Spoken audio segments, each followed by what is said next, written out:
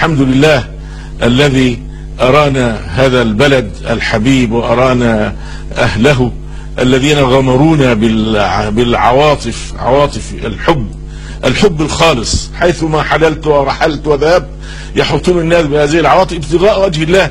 لا أنا لا أملك مالا ولا جاها. و يعني من القمة إلى القاعدة. حتى قابلنا الرئيس بشار الأسد. بصدر رحب وقلب مفتوح وعقل متفتح وتباحثنا معه في قضايا الأمة وبقينا معه ما يقرب من الساعتين. يعني ونحن كأننا نتحدث في أسرة. سؤال سئل من أكثر من مشاهد ننقل صيغة الأخ عبد الغني يقول هل يجوز استهداف من يؤيد النظام السوري كما يقول القاتل وعلى رأسهم علماء السلطة. وهل يجوز قتل عامة العسكريين الذين ما زالوا واقفين مع النظام مع العلم أن فيهم من ينوي الانشقاق ولا يتمكن من ذلك؟ مش عرفنا ما من أين أعلم. أنا ال- ال- الذين يعملون مع السلطة يجب أن نقاتلهم جميعا. عسكريين مدنيين علماء جاهلين.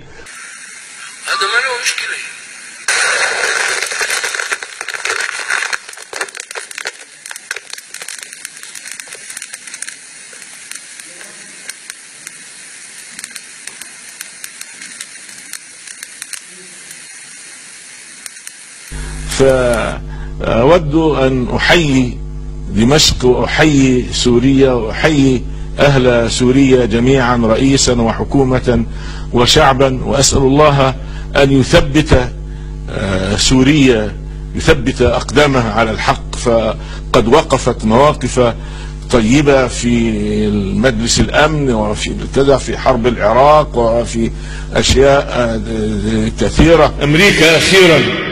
نشكرها على كل حال وننتظر المزيد. سمحت ببعض الأسلحة غير القتالية تعطيها للسوريين. 60 مليون دولار أو نحو شيء من هذا. هذا شيء قليل جدا. ولا أيوة. لماذا؟ إسرائيل أمريكا تخاف على إسرائيل. إن الناس تنتشر في سوريا بعدين يذهبوا إلى إسرائيل. منين جبتم هذا الكلام؟ ف... ووقفت أمام التأله الأمريكي الذي يريد أن يفرض إرادته على الأمة ويغير هوية الأمة ويغير منظومة القيم فيها ويصلحها على هواه كما كما يريد. سوريا هي التي وقفت واستطاعت أن تقول لا ولذلك قننوا لها القوانين من أجل عقوبتها وتأديبها.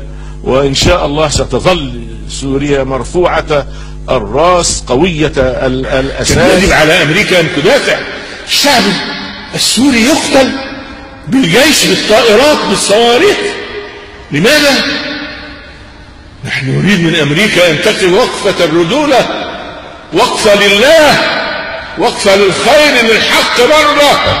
تحياتنا إلى الشعب السوري وتحياتنا إلى القائد بشار الأسد وتحياتنا إلى الحكومة.